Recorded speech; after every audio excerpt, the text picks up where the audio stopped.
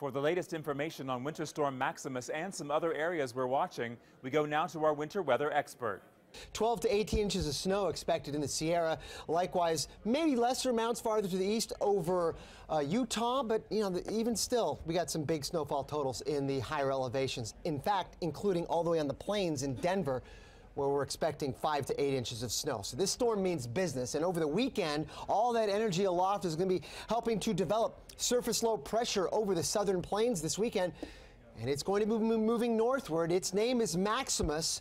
And as it does, it is going to bring significant winter weather with it all across this boundary between the relatively cold air to the north and this warm air to the southeast. This contrast of air masses with a strong jet stream flow right in between that it's going to set us up for a pattern tomorrow that looks like this with a lot of wintry mix there and significant snow on the north side, say, for example, from Kansas City to Chicago and everywhere in between, places in Michigan as well. South of there, I do expect a wintry mix, sleet, maybe even freezing rain again across these regions. So this storm means business, Maximus does, and stay tuned for the latest updates on that.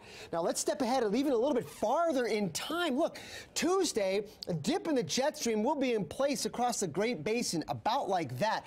There will be a lot of upper level energy in the base of that trough. That's that shaded area right in here, guys.